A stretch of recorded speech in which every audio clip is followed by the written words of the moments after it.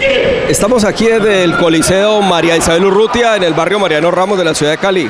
Estamos en las competencias de lucha sumo, eh, lo que es la novena versión de los War Games 2013 en Santiago de Cali. Vamos a estar llevando los apartes de lo que va a ser la competencia, es de varias categorías.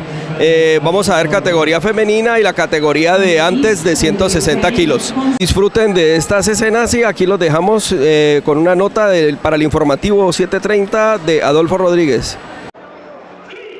Con las competencias por el título de la categoría abierta culminó el pasado sábado en el Coliseo Mariano Ramos el campeonato de sumo dentro de la programación de los Juegos Mundiales 2013 que se realizan en la ciudad de Cali. Luego de la jornada anterior, en donde se entregaron las medallas de oro, plata y bronce para las categorías liviano, mediano y pesado tanto en damas como en varones, se cumplieron este sábado los combates por el título en la categoría abierta, en la cual se enfrentaron por sorteo luchadores de las tres categorías. Un total de 80 sumotoris entre mujeres y hombres pelearon en sendos combates, dejando en esta última a Rusia con la medalla de oro. Ana Shingalova, con 21 años de edad, confirmó por qué venía como favorita.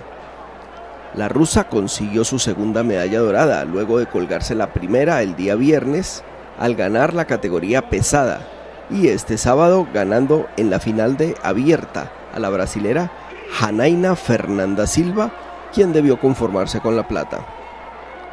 Por su parte, Svitana Yaronka se colgó el bronce. En hombres, Narabat Gankuyaj de Mongolia venció en la final al ucraniano Rosliatin Yevem, consiguiendo el oro. El bronce fue para Margiev Vasily de Rusia.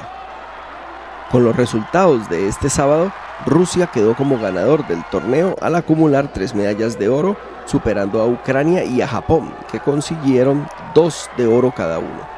Para los dirigentes de la Federación Internacional de Sumo, el balance del campeonato fue muy favorable, tanto en lo deportivo como en la organización.